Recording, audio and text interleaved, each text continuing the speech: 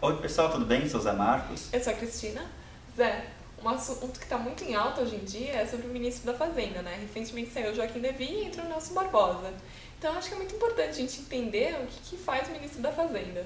É um bom ponto, Cris. E antes de falar disso, só, só enfatizar que quando a gente fala de Fazenda, Ministério da Fazenda, Ministro da Fazenda, a gente não está falando de propriedade rural. Não, agropecuária, nada. Nem gado, nem hortifruti, nada. Na verdade, é fazenda, tem sua origem no latim. A raiz da palavra é latina, que quer dizer ah, coisas que devem ser feitas. Bacana. E fazenda em português quer dizer tesouro público. Então, quando a gente fala Ministério da Fazenda ou Ministro da Fazenda, na verdade, o que a gente está querendo referenciar é a economia e as finanças de um país. Ai, que legal, Zé? Mas assim, o que faz exatamente o ministro da Fazenda? O ministro da Fazenda, assim como todo o seu ministério, Cris, ele é responsável pela formulação da política econômica de um país. Então, tudo aquilo que a gente já vem, falando nos vídeos anteriores é, é, sobre economia e finanças, propriamente dita, passa pelo Ministério da Fazenda de alguma forma. Então, por exemplo, política monetária, definição de quanta, quanta moeda vai ter em circulação, controle da inflação, por exemplo, é de responsabilidade do Ministro da Fazenda.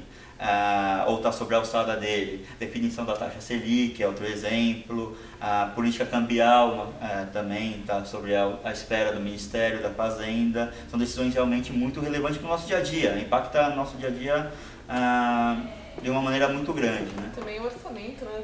Tá Nossa, é verdade, orçamento público, que é um tema que todo mundo está debatendo fiscal, hoje, né? nossa política fiscal também é sobre a alçada aí do, do ministro. Assim como diversas outras atividades importantes, regulação do mercado financeiro, né? o mercado de crédito também, a nosso, nossos preços, da, as tarifas públicas, a negociação entre países comerciais, econômicas, que nem sempre é uma, um, algo fácil de se fazer, tem muitos interesses envolvidos. Tudo isso passa pelo ministro da Fazenda e pelo seu ministério. Sem falar que o ministro também é presidente do Conselho Monetário Nacional, né, que é o órgão máximo do sistema financeiro nacional. Exatamente, Cris, é isso aí. Ele ocupa só para enfatizar a importância que o cargo tem. É, mas então o cara tem que ser muito bom, né, para fazer tanta coisa.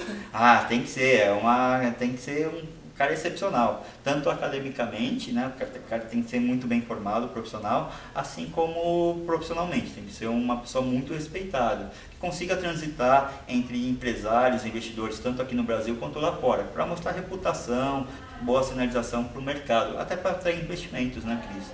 E aí, além disso, também tem a questão política, né?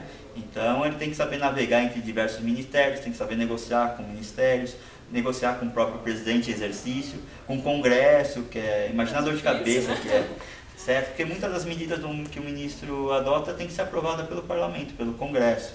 Então é um trabalho muito exigente, imagina a dor de cabeça que, Nossa, que o profissional tem. tem. responsabilidade, né? A pessoa tem que ser muito boa mesmo. Tem, tem. Quem sabe um dia a gente chega lá, né? Ah, já pensou a dor de cabeça, Cris? Acho que é melhor a gente ficar aqui fazendo vídeo, hein? É, acho que sim, né? Continuar aqui no Finanças 101 ajudando o pessoal de casa. Exatamente. Acho que deu para ter uma ideia muito boa assim, do que faz o ministro da Fazenda. É, deu para ter uma visão geral da importância que isso tem, não só para o Brasil, mas para o nosso dia a dia mesmo. Com certeza, né? Então, se você gostou, curte o nosso vídeo e segue a gente no canal. Então, até a próxima. Tchau, tchau. Tchau, tchau. Até a próxima.